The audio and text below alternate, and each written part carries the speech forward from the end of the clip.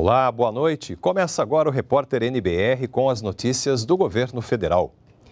Sancionada a lei que dispensa o reconhecimento de firma e autenticações para apresentação de cópias de documentos em órgãos públicos.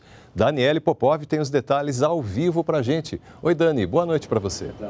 Oi, Roberto, boa noite para você, tudo bem? Boa noite a todos. É isso mesmo, com essa lei sancionada hoje, não será mais necessário exigir aí a autenticação né, desses documentos apresentados pelo cidadão nos órgãos públicos da União, dos estados, do Distrito Federal e dos municípios.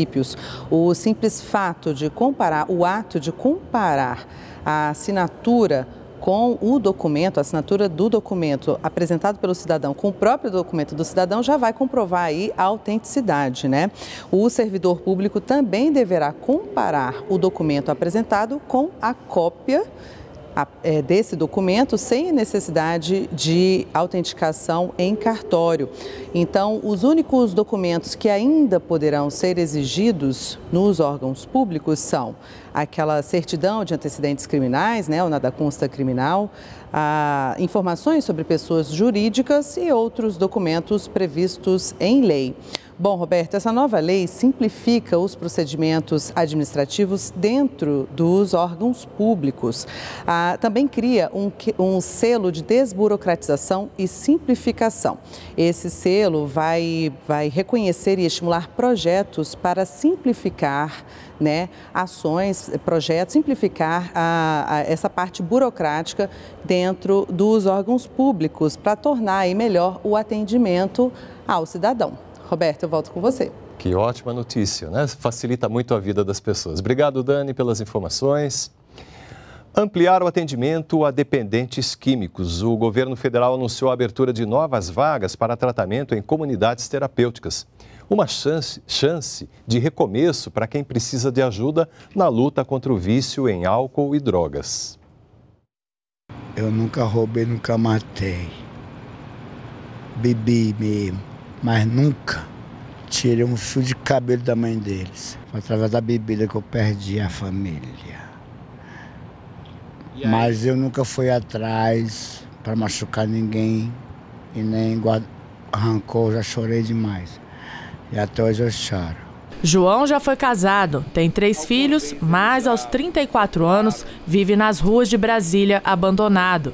Perdeu tudo por conta do vício e hoje gostaria de nunca ter começado nesta vida. Aprendi a fumar com 16 anos e a beber. Lá para cá, só destruição. Também nas ruas, Márcio carrega as mágoas de um passado triste, que inclui o suicídio do pai.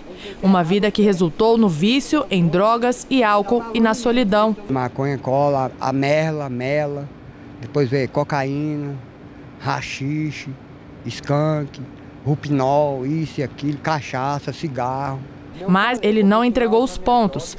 Diz que quer ser respeitado e ainda tem esperança de se recuperar sair dessa, desse bagulho mesmo, que para mim não está tendo futuro não. E é para ajudar pessoas como João e Márcio que cerca de duas mil comunidades terapêuticas em todo o país oferecem tratamento gratuito.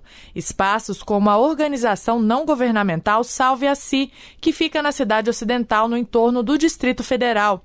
Com quase 10 anos de existência, a ONG já ajudou mais de 4 mil homens no combate à dependência de álcool e drogas e tem capacidade para 120 20 pessoas. O indivíduo ele tem que querer buscar o tratamento. Então, assim, ele tem todo um cronograma diário aqui na ONG, né?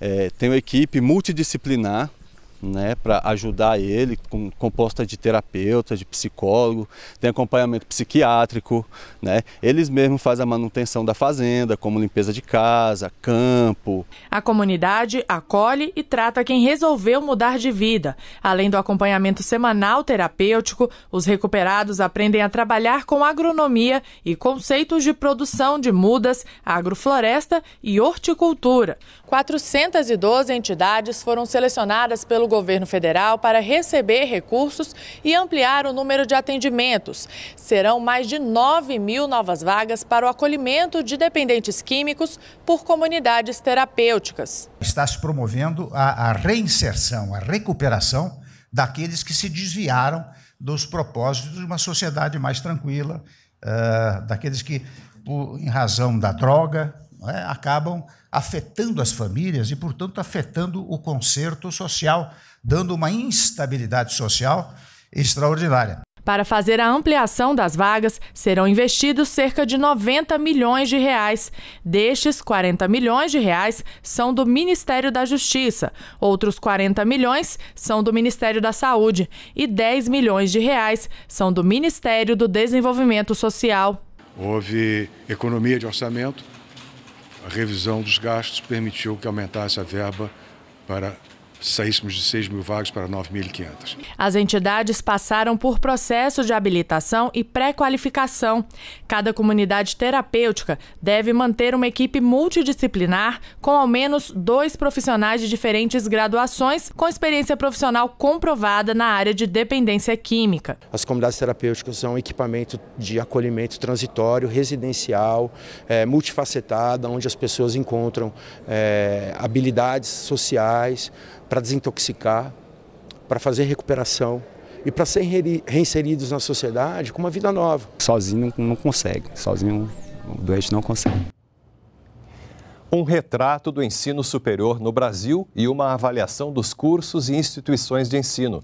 O Ministério da Educação divulgou hoje os resultados do Exame Nacional de Desempenho de Estudantes, o ENAD 2017 mais de 10.500 cursos de 1.478 instituições foram avaliados.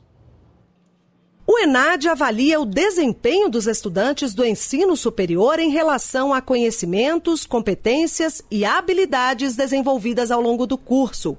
O ENAD avaliou 44 áreas. Cerca de 537 mil estudantes estavam inscritos como concluintes dos cursos. Mais de 467 mil responderam ao questionário e quase 451 mil participaram do exame. Foram avaliados 10.500 cursos de 1.478 instituições de ensino superior em todo o país. O levantamento considera o desempenho dos estudantes nas provas e, a partir daí, classifica os cursos.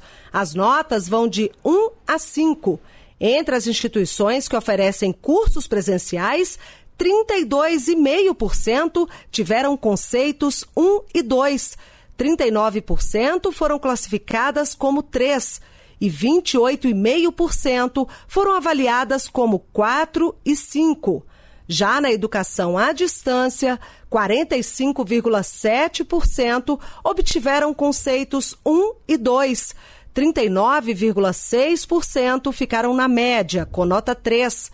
12,4% pontuaram 4 e apenas 2,4% tiveram conceito máximo 5. Sobre o perfil destes universitários nos cursos presenciais, os mais jovens e solteiros são a maioria, e a idade média é entre 16 e 24 anos.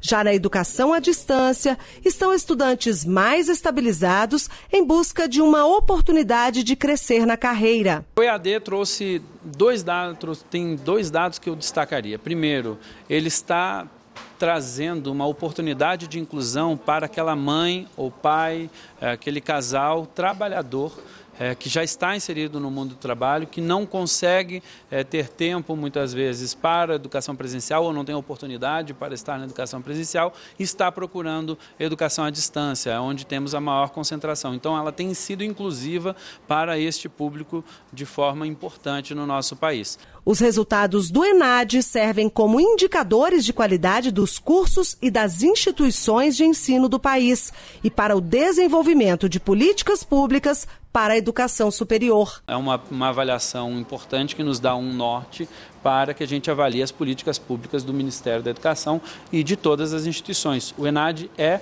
e o IDD são é, é, indicadores para o olhar pedagógico de cada instituição. Cada curso, cada instituição brasileira, pública e privada, precisa pegar o resultado do ENAD para internalizar a discussão pedagógica é, é, nesta avaliação. Bom, a gente fica por aqui, mas você pode acompanhar a nossa programação ao vivo pelo site da NBR. E todas as reportagens estão em nosso canal no YouTube. Acesse também o nosso perfil no Twitter. Você pode ainda mandar suas sugestões de reportagens e dúvidas sobre programas e ações do governo federal para o nosso WhatsApp. Anote aí, 61 99359 5084. Uma boa noite para você e continue com a gente aqui na NBR, a TV do Governo Federal.